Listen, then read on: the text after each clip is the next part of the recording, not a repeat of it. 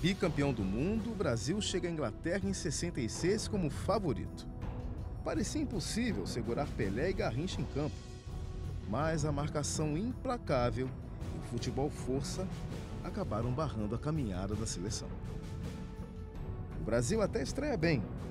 Vence a Bulgária por 2 a 0, com gols de Pelé e Garrincha. O gol de Mané foi o último dele pelo Brasil em Copas do Mundo. Correu para a bola, apontou, tirou, é gol!